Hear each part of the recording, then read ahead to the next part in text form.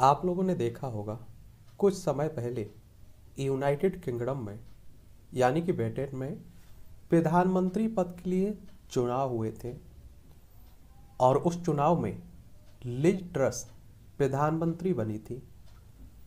और इन्होंने 6 सितंबर 2022 को यूनाइटेड किंगडम के प्रधानमंत्री का पद संभाला था।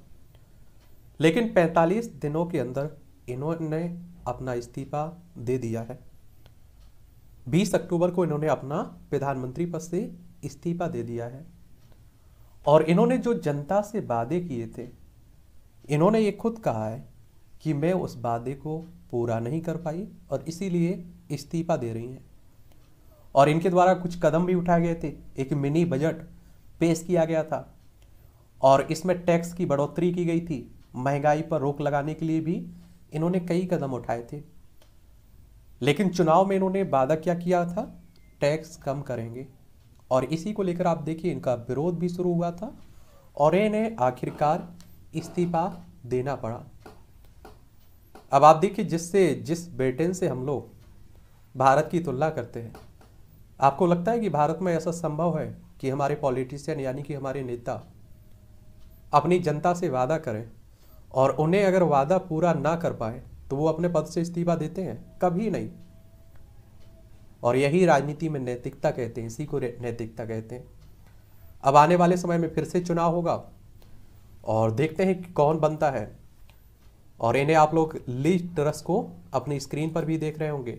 इन्होंने ऋषि सुनक को हराया था, और ऋषि सुनक भारतीय मूल के हैं, यानी कि इनके परिवार का संबंध भारत से रहा है। एक बार आप लोग यूनाइटेड किंगडम देख लीजिए। देखिए हमारी प्यारी पृथ्वी है। इसमें आप देखेंगे हमारा प्यारा भारत है। यहाँ से आप लोग यूरोप जाइए। यहाँ आप लोगों को यूनाइटेड किंगडम देखने को मिल जाएगा। और इसकी राजधानी अगर आप लोग देखें तो क्या है? लंदन इसकी राजधानी है। यहाँ बर्मिंगम हो, मैनचेस्टर हो, ये आप लोगों को सभी शहर देखने को मिल जाएगी। यहाँ की राजभाषा आपकी क्या है? राष्ट्रभाषा अंग्रेज़ी है। क्या है? अंग्रेज़ी है तो ये भी याद रखिएगा। और कुछ समय पहले आपने देखा होगा कि यहाँ की महारानी एलिजाबेथ द्वितीय की डेथ भी हुई थी तो वो भी याद रखिएगा। उसका कारण भी ब्रिटेन काफ़ी चर्चा में रहा था। एक कारण और रहा था ब्रिटेन को पीछा, पीछे छोड़कर हम लोग इकोनॉमी में, अर्थव्यवस्था में पाँचवें नंबर पर पहुँचे थे। उस मामले में भी काफ़ी चर्चा में रहा था। लेकिन आप लोगों को हकीकत कुछ और ही है उसकी। आप सभी जानते हैं कि ब्रिटेन में लगभग सात करोड़ की जनसंख्या है और हमारे देश में 140 करोड़ की जनसंख्या है। तो सात करोड़ से अगर हम लोग तुलना करते हैं तो ये तो अपने आप में नाइंसाफ़ी है। अगर हमें तुलना करनी है तो किससे करिए? हमारे पड़ोसी चाइना से करिए। अभी हाल ही में आपने देखा है कि हंगर इंडेक्स आया हुआ है, वैश्विक भूख सूचकांक। उसमें आप देखिए हमारी स्थिति कितनी बुरी बनी हुई है। हम अपने पड़ोसियों से भी निचले स्तर पर हैं। चलिए अलग टॉपिक है। तो यहीं की बात हो रही है राजनीतिक उठापटक चल रहा है। लिज ट्रस का पूरा नाम क्या है? मैरी एलिजाबेथ ट्रस इनका पूरा नाम है। इनका जन्म 26 जुलाई 1975 में कहा हुआ था? इंग्लैंड के ऑक्सफोर्ड में जॉन कैनेथ और प्रे, प्रेसिला मैरिट के घर में हुआ था। लिज ट्रस को कम उम्र में से ही उनके मध्य नाम से जाना जाता है। उनके पिता लीड्स विश्वविद्यालय में शुद्ध गणित के एक एमिरेट्स प्रोफेसर हैं और उनकी माता एक नर्स शिक्षक और परमाणु निरस्तीकरण अभियान की सदस्य भी थी। लिज ट्रस ने उन्नीस सौ छियानवे में मेरटन कॉलेज से दर्शन राजनीति और अर्थशास्त्र में पढ़ाई की हुई है।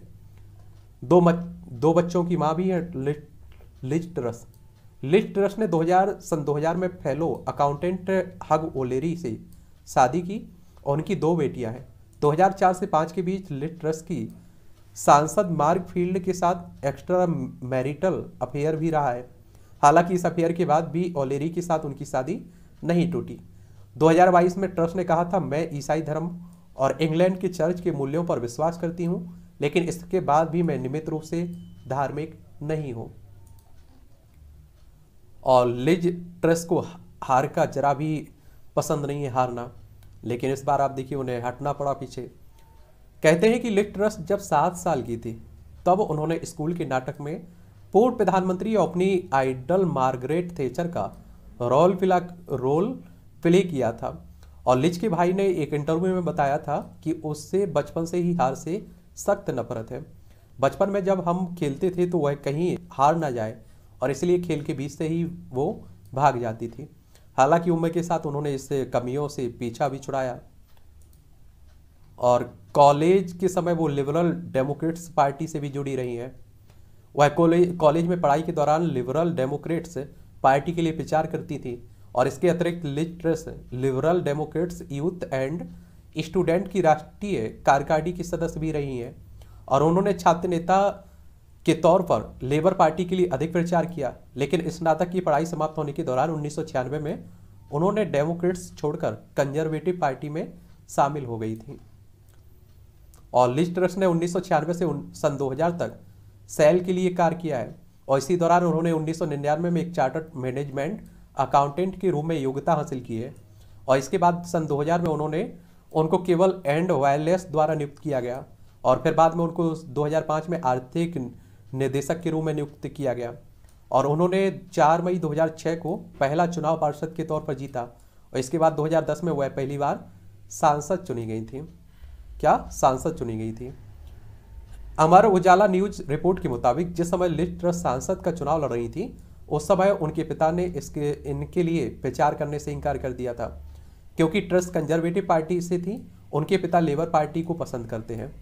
लेकिन माँ ने, इनकी माँ ने ट्रस्ट के लिए प्रचार किया था। वहीं 2014 में उन्हें पर्यावरण मंत्री भी बनाया गया था। इसके बाद दो 2016 में न्याय सचिव बनाया गया। उन्हें 2017 में ट्रेजरी प्रमुख का पद दिया गया।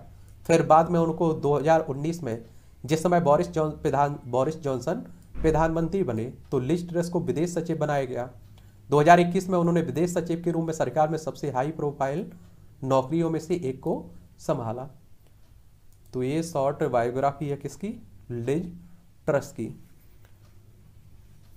अब आप देखिए आगे, आने वाले समय में मालूम चलेगा कि कौन कौन चुनाव लड़ता है प्रधानमंत्री का और ब्रिटेन यानी कि यूनाइटेड किंगडम का कौन प्रधानमंत्री बनता है फिर से।